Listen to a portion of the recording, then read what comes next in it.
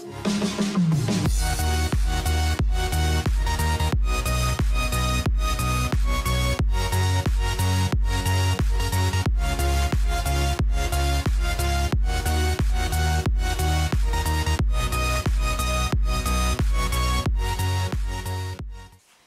vamos a preparar pollo al horno con champiñones y papas. Para eso estoy utilizando 6 piernas de pollo, acá ya los tengo limpios. Y para el aderezo vamos a necesitar sal y pimienta al gusto, 2 cucharaditas de páprica dulce en polvo, una cucharadita de orégano, media cucharadita de cominos, 2 cucharas grandes de aceite de oliva o cualquier otro aceite de sus preferencias y tres dientes de ajos molidos. Ahora tenemos que mezclar todos los ingredientes.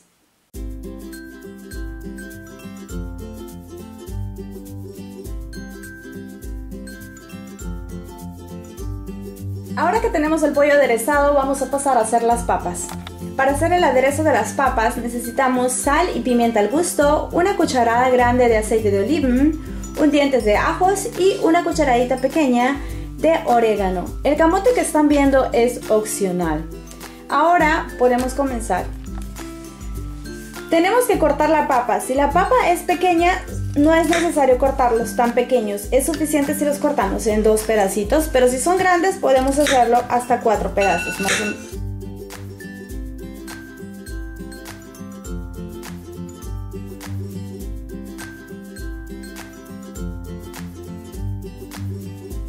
Una vez que hemos cortado nuestra papa y el camote, como están viendo, es así como yo los corté.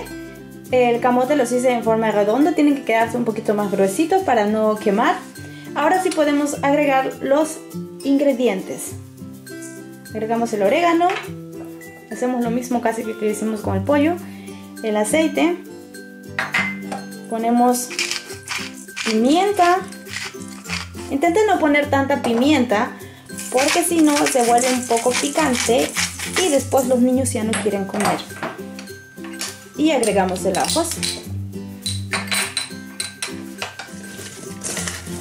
Mezclamos otra vez muy bien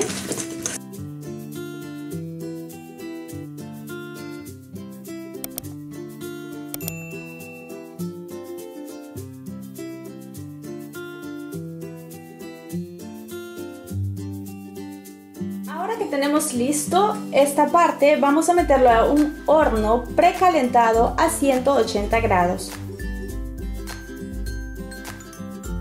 Para preparar los champiñones, como ustedes están viendo, yo ya tengo aquí los champiñones limpios y cortados en rodajas. Más o menos son 250 gramos que yo tengo en este tazón. Y la forma como lo vamos a aderezar va a ser súper fácil. Solo vamos a poner una una pizca de sal, mejor dicho un poquito de sal, pimienta y un poquito de aceite de oliva. Opcional podrían agregar ajos. Aquí ya tenemos los champiñones listos, vamos a reservarlo y cuando el pollo y la papa esté cocinada, vamos a agregar los champiñones 15 minutos antes de sacarlo del horno. Es importante hacer este procedimiento para que así los champiñones no se vayan a quemar y no nos salgan secos. Ahora ya pasaron 45 minutos, eh, la papa y el pollo ya están listos. Es por eso que vamos a agregar los champiñones y dejaremos 15 minutos más y estará listo. Listo, pusimos los champiñones